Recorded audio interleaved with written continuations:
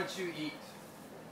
This basically the, the theme of my work, if I wanted to sum it down was, or sum it up, would be that nature provides everything that we need. The reality is, in a natural environment, we are provided with everything we need to not only survive, but to thrive, to sustain ourselves both in the short term and in the long term.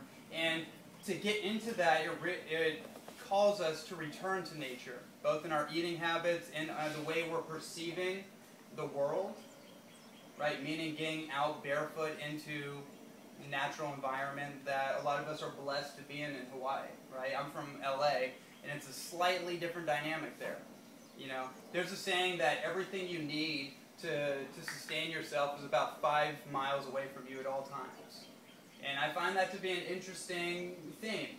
You know, in LA, it's like you kind of think, well, there's a shopping market, you know, less than five minutes or five miles. There's a gas station, you know, we kind of think in those terms. When you're out here, you have to kind of change that perceptual filter to think like, okay, well, there's that, that banana tree right over there. You know, I can feed myself, I can get a certain amount or volume of sustenance to survive and thrive until I get to the next tree, right? There's a natural pharmacopoeia in nature. Basically, that nature has within it, with, encoded within it, its own database of information or references that we can all pick from if we make that whatever ails us, nature has a solution for. That's basically the bottom line to my work, the theme of it, and then from that philosophy, everything else sprouts. What you're looking at right here, does anyone know what this picture is? Has anyone ever seen this kind of picture before? Is it like a neuron? Yeah, it's called Kirlian photography.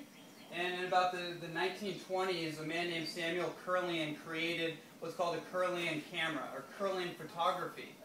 And what's so amazing about this is that it actually depicts the ultraviolet lighting coming off any living organism, any living uh, being, animal, human, even conductive metals, for example. It shows the, the electromagnetism that's pulsating off of it, right? Who here is aware that our human eyes don't actually see the full broad spectrum of lighting, right? We, we pick up certain uh, broad bands, but we don't pick up the full thing, right? Certain animals can see different color waves, things like that, right? Some of us may have it to certain different extents, but this camera actually allows us to see the electrical pulsations or emanations that are coming right off it. So this gives you a completely different perspective. At least it gave me a completely different perspective about six years ago when I first saw an image like mushroom from the same camera, except this one is inorganic. Still has life.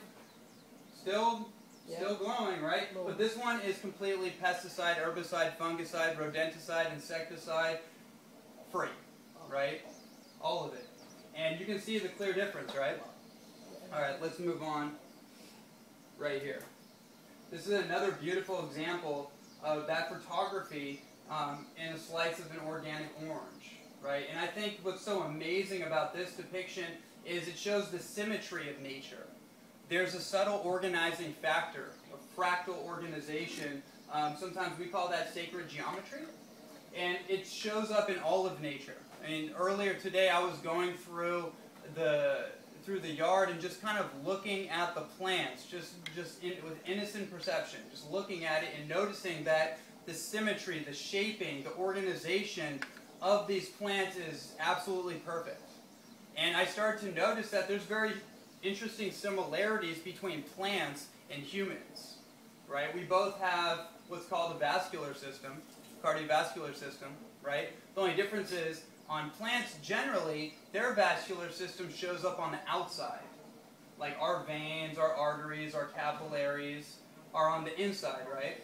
Except I have a few that kind of, you can see a little bit, right? But there's skin coating over it.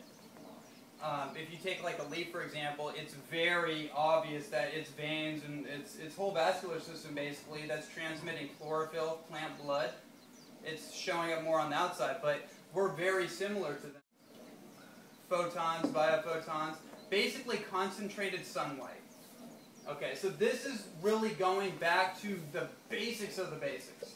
Everything that produces energy, basically anything that's living, gets its energy or from one originating source, which is the sun, right? And we've all heard of photosynthesis, right?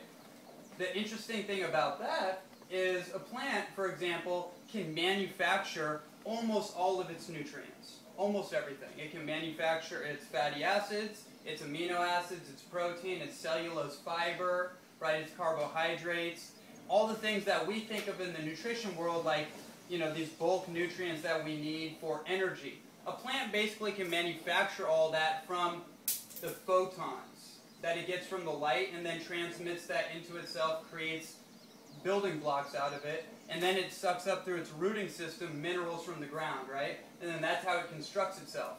We eat those plants, and we get all that to construct ourselves.